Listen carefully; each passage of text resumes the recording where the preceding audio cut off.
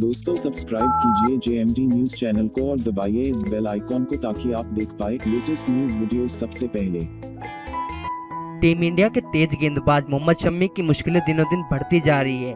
उनके और उनकी पत्नी हसीन जहाँ के बीच का विवाद थमने का नाम ही नहीं ले रहा है। हर रोज इन दोनों के विवाद में कुछ न कुछ नए खुलासे सामने आ रहे हैं। हाल ही में कोलकाता क्राइम ब्रांच पुलिस ने शम्मी के यूपी स्थित अमरोहा आवास पर उनके परिवार से हसीन जहाँ विवाद के बारे में पूछताछ की थी।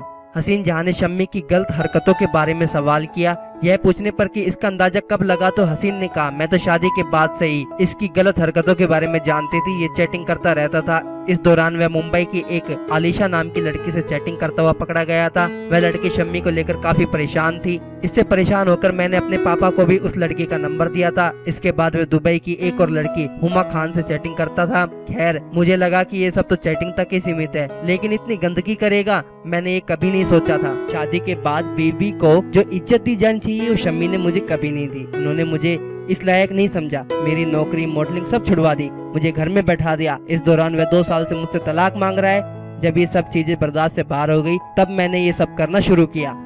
दोस्तों, आपको मेरे द्वारा बताई गई जानकारी कैसे लगी? हमें कमेंट बॉक्स में कमेंट करके ज़रूर बताएँ। यदि आपको वीडियो अच्छा लगा तो लाइक और शेयर करें और चैनल को सब्सक्राइब करना ना भूलें। मिलते हैं नई वीडियो में।